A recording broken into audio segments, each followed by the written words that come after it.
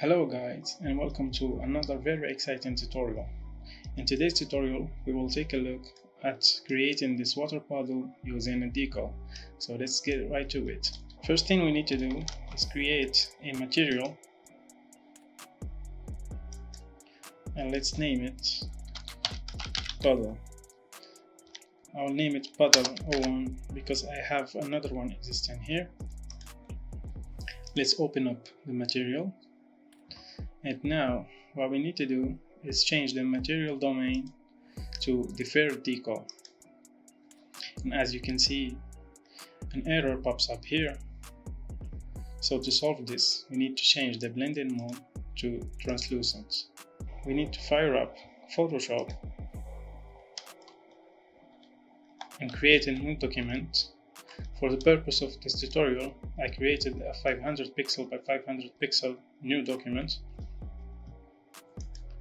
and I will take the lasso tool and just draw an abstract shape that will represent the shape of our water puddle. That's good. Now we'll give it 5 pixel of feather and let's paint it white and the background let's paint it black. So now we have this abstract shape. So let's save it back to Unreal Engine, let's load up the shape that we created earlier. Let's drag it here and let's link it with the opacity.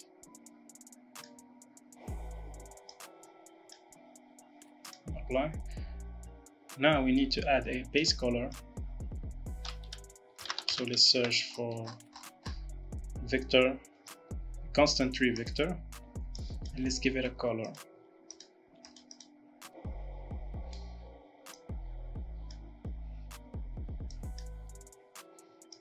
Maybe something like this. And hit ok. And now I'll need to load up a normal map. Here is a normal map of water that I've found on internet. You can find it on the internet and download it for free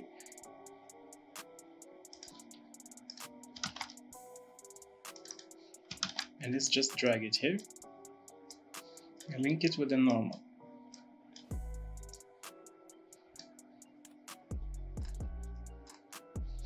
So here I've lost the base color because I didn't save.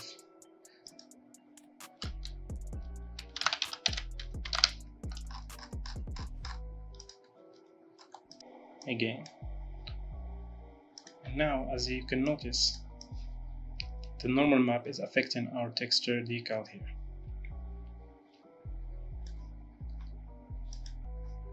Oh, Already we can use this. We can drag the puddle we created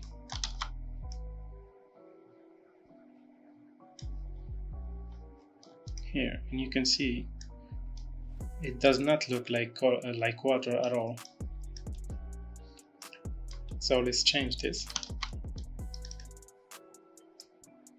Go to the roughness map and promote parameter and leave it like this and hit apply. So now we're getting a bit of reflection, but the normal map is way too high. So let's solve that.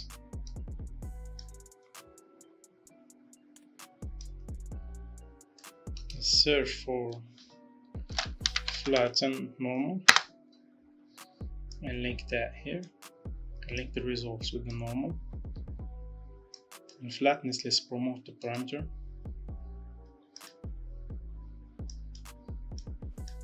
And just give it something like 0.8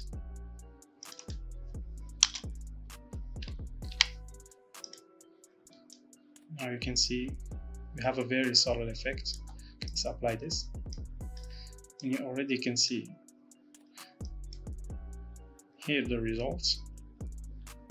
Maybe we need to put 0.9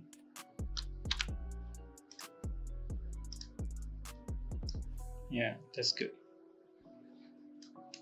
Also I think we need to change the color to something a bit darker.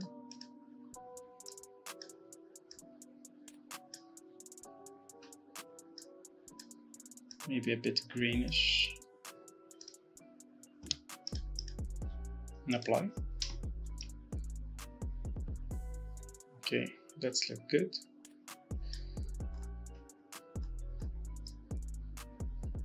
Now what we'll do is add a bit of animation. If you can see in our first model we created here there is a very subtle effect of animated water. So let's do that. To do so we need to introduce a panner node here. So let's search for panner and link it with the UVs and apply and let's add speed. Let's promote parameter. And let's add something like 0.5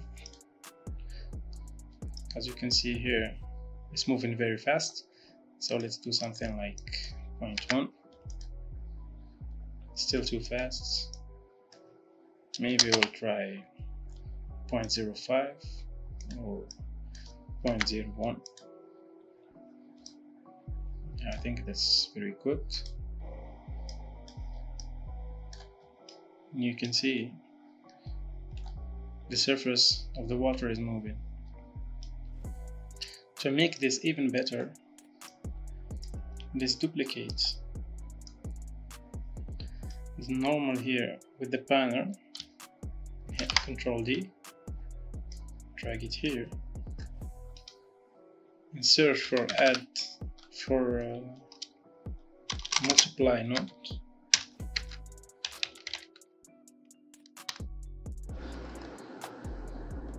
And let's drag the first normal and the second normal map and link it with the normal flatten node here and hit apply. And here what we need to do in the speed parameter let's put minus 0.1 so here we duplicated the same parameter. You can notice that if we change the parameter here it will be changed here too. So to solve that we need to delete this one and promotes the parameter again. And let's do 0.01 and apply.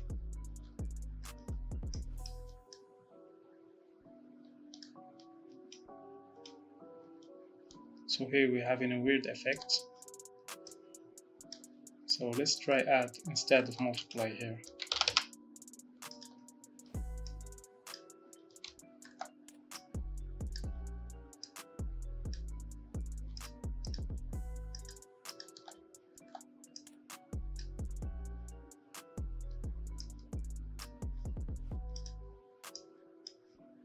perfect so now what we can do we can create a texture node to control the scaling of the normal surface of our water bubble. To do so, let's search for tex coordinates. Also, let's search for multiply node. Let's duplicate it.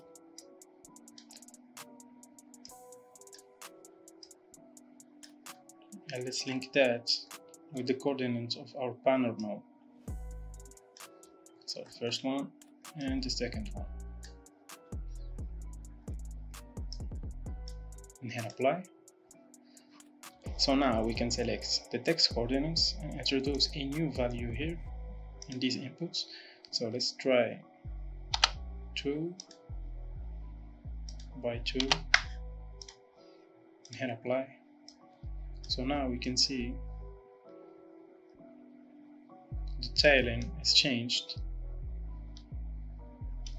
Let's try something like 0.5 by 0.5 and now you can see the results here.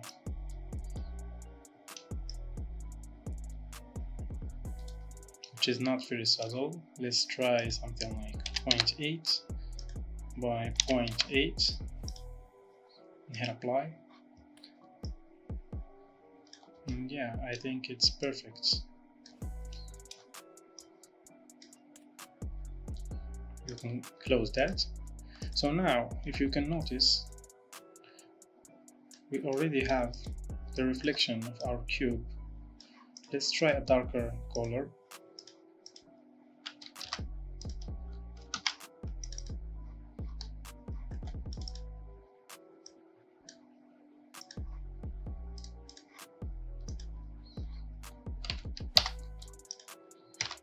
So now you can see the cube is perfectly reflected in the surface of our water pedal. But here is an issue. If we move the cube over the pedal, you can see we have a bit of a weird effect. To avoid that, let's select our water pedal and go to the scale, the X scale, and put something like 0.1 or 0.01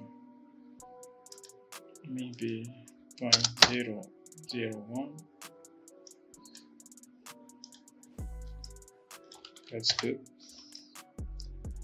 and now you can see it's working perfectly so that's it. If you enjoyed the video, consider liking and subscribing to the channel for new Unreal Engine content. Thank you for watching.